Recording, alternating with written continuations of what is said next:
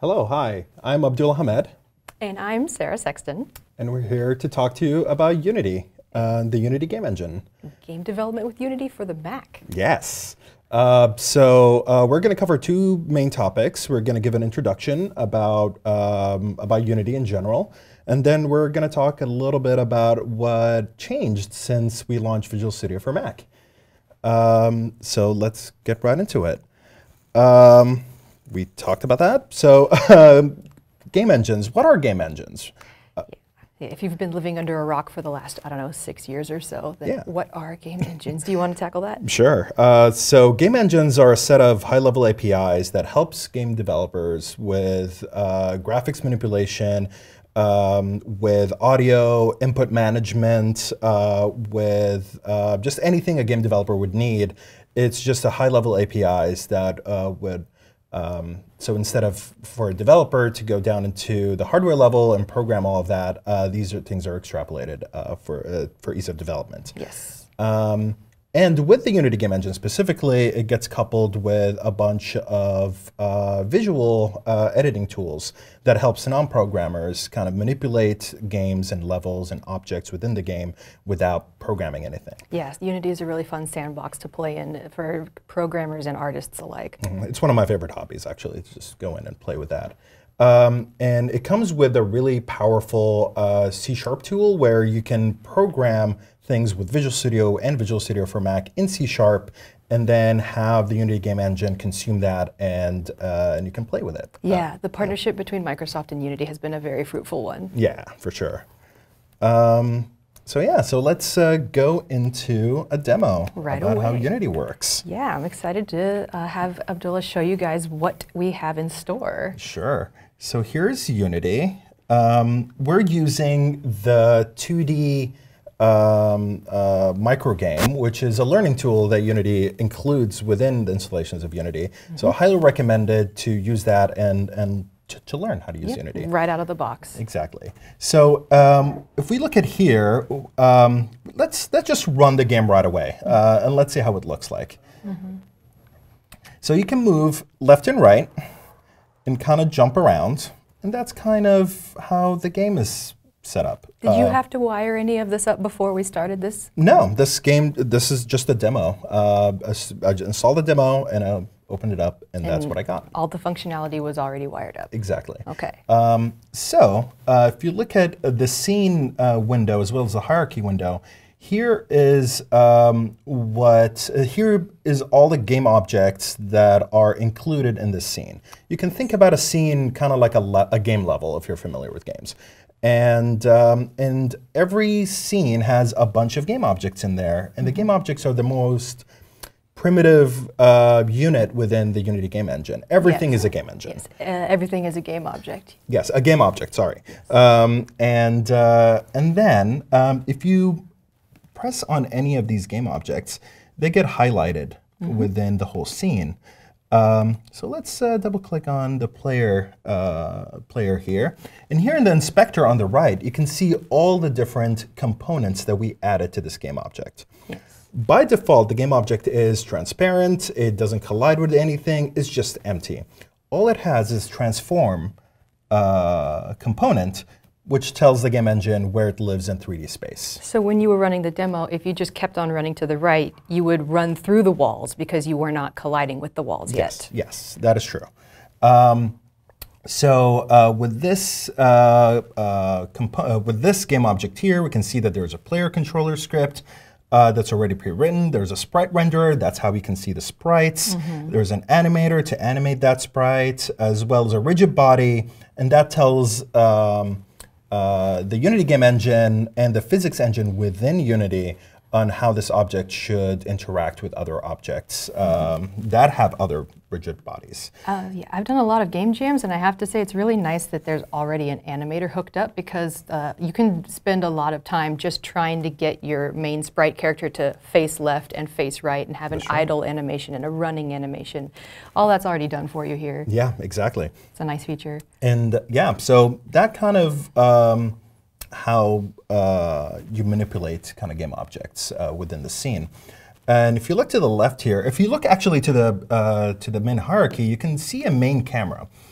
And this is uh, just like movies, and within a scene, th- there needs to be a camera, just the camera that's taking images right now. And a camera is also a game object. Exactly. And uh, everything that the game camera is capturing is what the player will be seeing later on. Yes. And this is, if you go to the left here and see that um, game window, this is what the camera within the scene is rendering.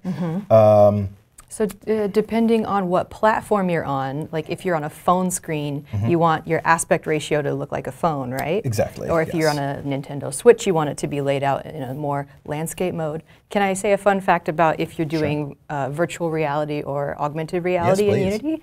Um, fun fact about that is uh, you see here that your your, your camera's background color is sort of this light blue, it's a solid color. Mm-hmm. What we do, for example, at Microsoft when we're making HoloLens games, we set the background color to black because holograms are rendered in light, and so Mm-hmm. black is the absence of light. Mm. So when you're looking through your game camera, uh, you're seeing the first person view, and black is rendered as transparent, and everything else shows up like in the first person view of you looking through your HoloLens or your mixed reality headset. interesting. Does that make sense? Yeah, I learned something new today. Um, so yeah, and then so let's familiarize ourselves more with with the UI here. If you look down here at the project window, here's pretty much just a file structure. This is what the files look like in your um, in Finder. Um, if if you look at it, you can press on any of these actually, right click, and reveal in Finder. You can see your file structure in Finder.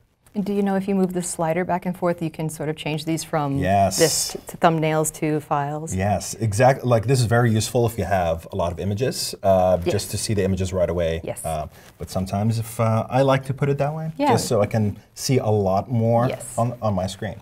So yeah, it's just for preference. Mm-hmm. Um, sure. Um, so let's add a component and let's see how that looks like. Um, you can add component either through Unity directly um, or create a create one through Unity directly, or you can create one through Visual Studio, which I'll show you how to do that. So let's create a script. Um, in under gameplay here, right click, add, add a new mono behavior. So mono behaviors are uh, what uh, uh, is what we inherit in each script that Unity is going to be using. Um, so let's create a new one. It just pops right up there into Visual Studio for Yeah, Mac. and it structures it the way that it needs. It's, it starts adding the Unity game engine uh, up there. And let's rename it to test script.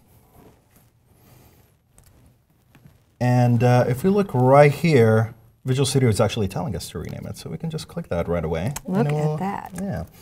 Um, so the Unity game engine has a bunch of uh, different messages that they send to uh, to these scripts, um, and they call them messages. And uh, you can add um, handlers for those different messages. So you can right click and go to Implement Unity Messages, and here you can see all the list of different messages that Unity can send to your script. Examples of Unity messages. Look Yeah. how useful this is. It's very useful. Uh, sometimes I forget and go into doc- documentation a lot. Like that's what I used to do a long time ago. Yeah. Uh, but now I can just look at this right away and implement. For example, on enter uh, on collision enter. So um, this is called when there is a collider on your component. And I enter another collider, so uh, there's a collision happening. So this function gets called. so that would make our character run into, into a wall or a platform. Example. Like if we want the character to change its animation to be standing if it's colliding with the floor. Mm-hmm. So that's where we change that. or falling animation if it's not colliding with the floor. Exactly. Exactly. Um, so that's how it works. Uh, but let's create some uh, public variables here. Okay. Let's say public uh, float. Is there a way to zoom in easily, by the way? Let's see if I can zoom in into this. Like scroll up. I can make the text just a little bit Yeah. Bigger. Let's do that. Uh, so public float, and let's call this offset. And let's create a public transform. T. Now, what's your thought process here? And now I just saved this um this uh, this script. Um, let's go add it to to uh, the player uh, character here in Unity. So as you can see, Unity is working a little bit. It's it's Visual Studio sends us a notification telling, "Hey, we have added uh, we have edited a script, so uh, do your thing." Refresh Unity. Yeah. So if we go here and say add component, we can see that we can see our script over here. Test script, that's the one you just wrote. That's the one I just wrote. And if you saw this down here, you will see that um, Look at that. our, uh, yeah, you can see all the vari- public variables that we created actually appear in the editor. Then that's really nice. Um, that's a really great feature because it makes things more transparent and it gives you a, a, some insight into what the script is actually doing, right? Exactly. And it also allows non-programmers to edit the game and play with the game without actually going back into the code. That is so nice. And it's sort of like a, not exactly a drag and drop, but a more user-friendly way of editing the script without going into the code behind. Exactly. I mean, we are going to drag and drop something right now. So if I take the player and drag it into the transform Yeah. uh, space here, it will un- the editor will understand right away that I'm trying to get the transform component within the player game object and put it in there. And now, in, in layman's terms, um, the transform and the player and all of that, that's just describing the, the XYZ coordinates of the player, and we're transforming it, moving it from one spot to another spot. Exactly. The position, the rotation, and the scale of an object is it's what's inside the transform. If you look up here, you will see that that's these are the, that's the information that's within the transform. Perfect. Yeah. So, um, and if we go to the script right now and edit the the uh, transform t over here, In the update method, yes. So I'll explain what an update method is uh, pretty soon. But if I if I update t right now, it will actually update. Since I dragged and dropped the player transform uh, in the editor, it will. Um, uh, it will actually edit that player specifically. So I don't need to instantiate uh, what is T within the script. Unity is handling that.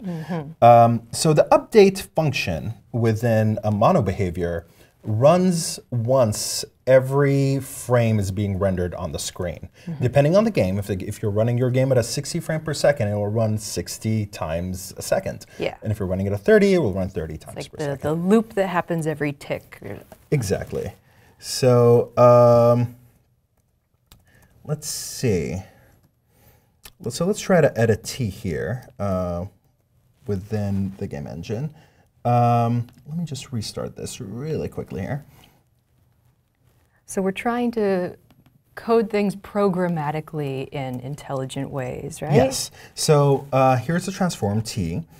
Let's look at the position equals, uh, since the position is a vector of x, y, and z, so we're creating a new vector 3. Vector 3 and 3, x, y, and z, those are the three. Exactly. That's the data. Like the direction. So um, t dot position, that's the same position we're in, uh, dot x, which is the x coordinate, The x coordinate. and then we're let's add the offset. Adding an offset. Yeah, and then uh, let's keep the same. Um, let's keep the same uh, uh, y coordinate here. So they're not supposed to move up or down necessarily. Yeah, we're just we're, we're, we just want to keep the up and down and just go horizontally. cool. Uh, yeah, we just want to modify the x coordinate. And since we're in a 2D game, we don't need to worry about the z axis at all or the true. depth. Yes, the, the popping out from between you and the camera, that's Exactly. a three dimensional problem. Yep. So let's go back to the game and let's run the game. So before you had to press the arrow keys to control the character, right? Yes, that is true.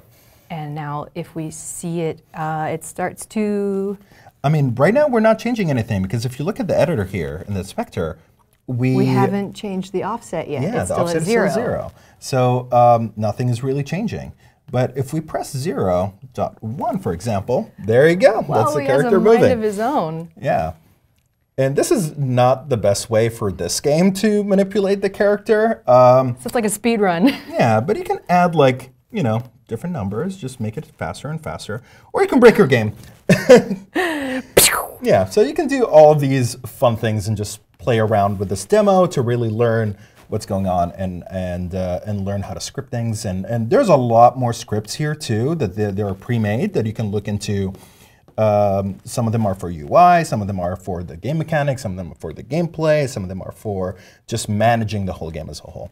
So go in, play around. Excellent. What a great demo.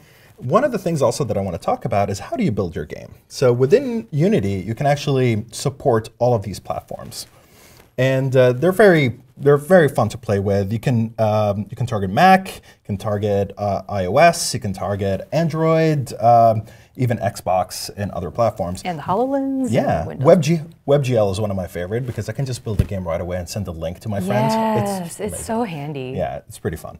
Um, and it, um, so yeah, so that's kind of how you build uh, your game using Unity. So you can build from a Mac PC to an Android phone, just like right here. Yeah, Uh, well, I'm impressed. yeah, it's pretty fun.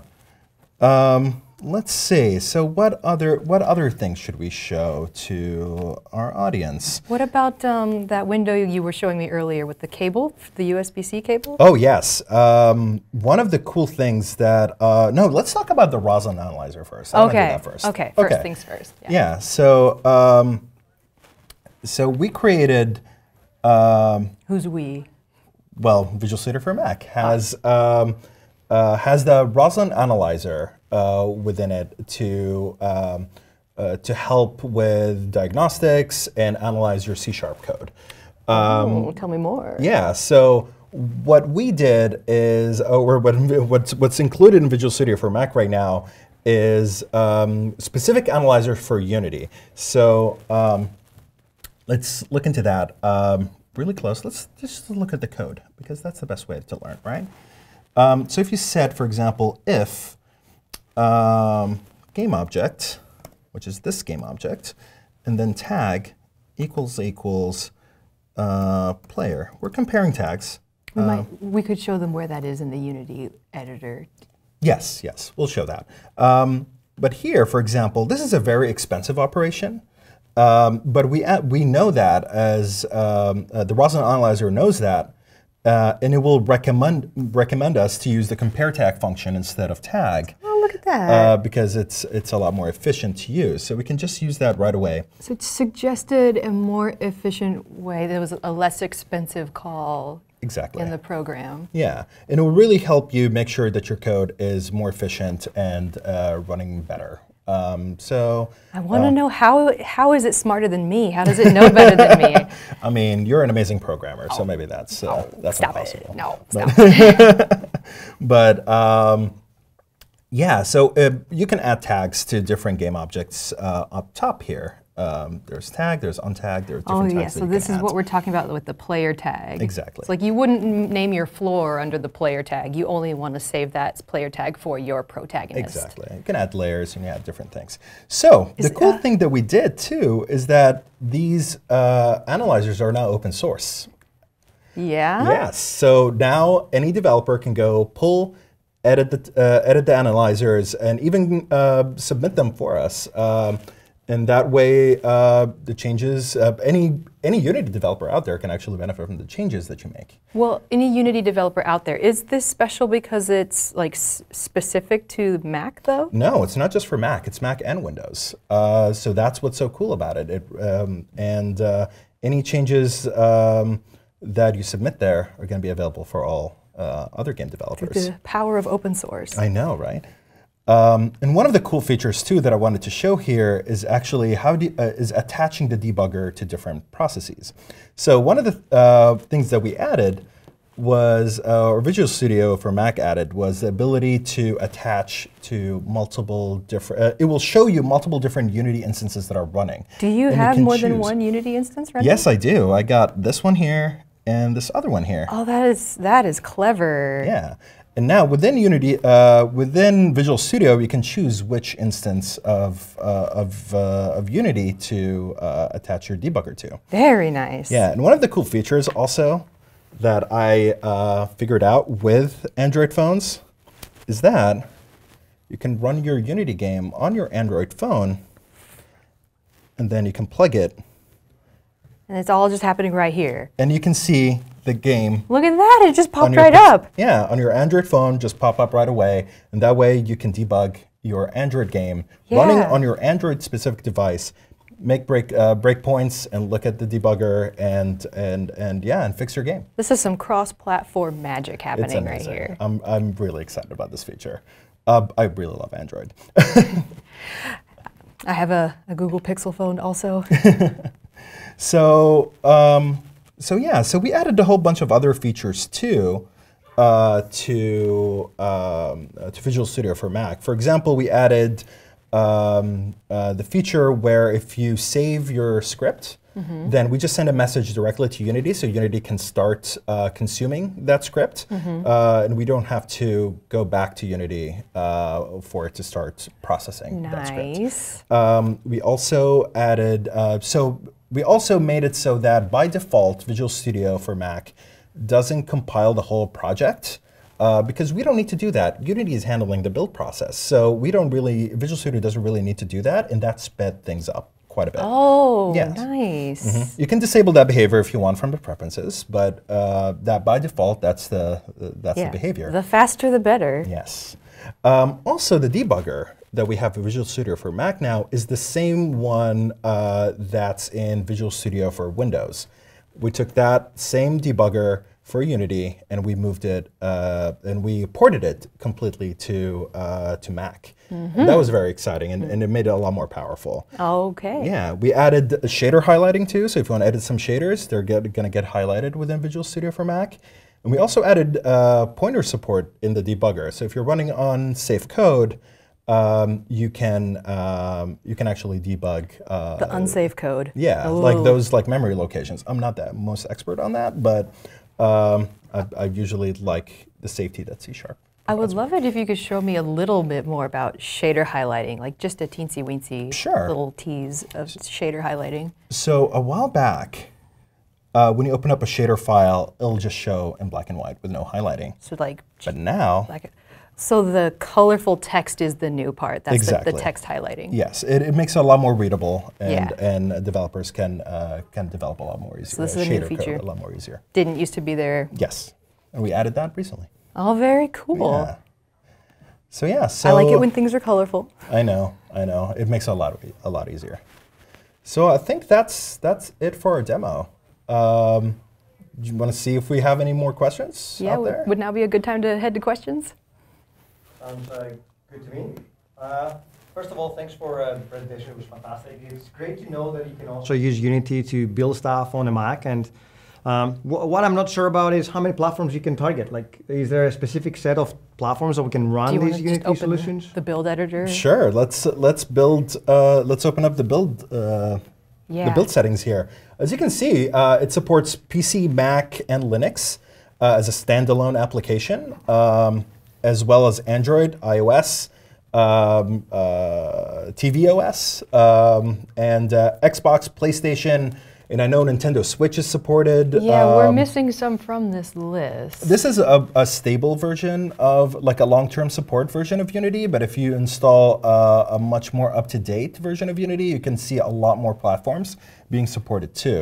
Now, um, does this have something to do with when you're installing Unity from like the installer from the very Mm-hmm. beginning? There's like a list of boxes you can check of what do you want to have. Exactly. That also uh, is an option for you to install uh, all, like support for all of these platforms from there. Yeah. Um, and uh, so yeah, and uh, there's a lot more people adding support for their platforms every now and then. So uh, it's important to follow Unity's news and see if uh, any new platforms are supported. Yes. Great. Uh, we have one question over Twitter, which uh, goes on the Roslyn analyzers that you touched touched earli- earlier on. Uh, the question is, can I create my own Roslyn analyzers for Unity now that you've open sourced these analyzers? The answer is absolutely. Yeah. Yeah. Yeah, that's the point, right? Yeah, exactly.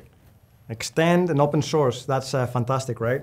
Um, you showed some assets there for uh, creating games. Uh, I think people would like to know that how to get assets, or if they're not good with uh, designing and Oh, artwork, yeah. is there a way for us to, you know, common developers that are not really good at designing stuff to Yeah. get started and write our, our had games without relying on a designer? Sure. Yeah, you can just uh, the thing. The cool thing about Unity is that they know that while people are learning uh, how to make games that they don't usually have access to um, resources, artists, uh, or anything like that. So um, they have created a store. Let me just yeah, try the Unity to pull Asset that store. store. It's it's really a very helpful tool. Uh, the Asset Store is always there for you, and um, this this is different from just when you're like creating a new project in Unity and selecting either a 2D or a 3D game. You have the option to like have game assets Yeah. Mm-hmm. downloaded. But if that, those are defaults, if you want something more specific to what you're looking for, you go to the asset store and then you Mm-hmm. can search for things here. And you like click the button, do you want it to be free or not? And so Yeah. continue browsing. Yeah, I mean, there are scripts to handle uh, UI, to handle um, uh, different controllers. For example, I know that supporting uh, uh, or hot swapping um, uh, different controllers on consoles can be very troublesome and, and, and very expensive to fix by yourself. But there are plugins out there that will handle that for you. There's um, plugins there that help you um, with I just saw something that's relevant to you actually. I think it's VR chat, so that might be helpful for HoloLens developers yeah. too. And there's sometimes you can find just asset kits. For example, if you want to make a fantasy game mm-hmm. and you just want to get started right away, mm-hmm. maybe you'll change that later mm-hmm. uh, once you get more resources. But right now, you just want to get started right away. Yeah, just There some are- placeholders. Yeah, placeholders, anything like that. There is a bunch of different assets here An for abundance of them. Yes. And uh, if you're a developer and you are trying to find a way to monetize some of your artwork, or perhaps you're an artist, uh, if you sell your assets in the asset store, that is another way to generate a source of income. Yeah, not just assets. You can you can uh, sell your scripts. And scripts Yeah, too. Yeah, just program all of them with a Visual Studio for Mac, and then put them up there, and Yeah. that's how you can make money. Yeah. yeah. Great question. You can build games, make money. What else do you want, right? uh, one last question, and we're done. Um, are there any plugins that you recommend, or you have some favorites for Unity to you know make game development easier? Sure. Uh, I mean, one of the ones that I really like, if you're still not uh, the most confident in your programming skills, Playmaker is a really good one to uh, to uh, uh, to help you with visual programming, and then you can go into look into the code and see how how things are, are going and learn more about that. So that's a really good one. Uh, Rewired is another one for uh, controllers, which I really enjoy. Uh, it really helped me a lot when I'm developing games with game controllers, and people were hot swapping controllers and, Do we and have just time manage to? all of that. Do you have time to, for you to uh, maybe pull up a page about Playmaker or? or right, I think Playmaker is right on the front page. It's that popular, front page it seems. of the asset store right yeah, now. and that can help you. Uh, you can purchase that and, and play with it. Um, yeah, another good one that I really like is 2D Camera Pro. I think it's called 2D Camera Pro. Or maybe it's Pro Camera 2D. but that um, helped me a lot with, yeah, there you go. Uh, that helped me a lot when I was uh, starting to develop uh, my game. Um, and it, uh, it, it handles things like you know zooming in when I'm talking to different characters, uh, uh, staying within the boundary of the game, um, and all of these, uh, all of that heavy lifting that Yeah. uh, you, you have to program all of that within your camera. But um, there are people who made those scripts already, so And that one's specific to a two-dimensional game. that is specific to a two-dimensional game, but there are so many assets out there, and you can go and check out different ones. Another good one that I like, I like story-driven kind of narrative games, and there is a plugin called Fungus where you can. Yeah, yeah, and I've it's heard open of source this. too. Yeah. Uh, so it's free, and you can play with it, and you can make narrative games. So like kind of like um, a visual novel, exactly. sort of. Yes. Very cool. Yeah, very it's very cool. Awesome. Yeah. Yeah. great job on this, man. Yeah. Very polished. Mm-hmm. Thank you. There you have it, my friends. Uh, we show you how you can uh, use your .NET skills on a Mac to write games with Unity. Uh, it's fantastic that the ecosystem is so open and you can find uh, plugins, you can find assets, so you can get started easily. Uh, before we move on to the next session, which is all about mobile apps with uh, Xamarin.net, uh, we're going to take a quick break, so we'll see you in a couple of minutes. Thank you very much. Stay tuned.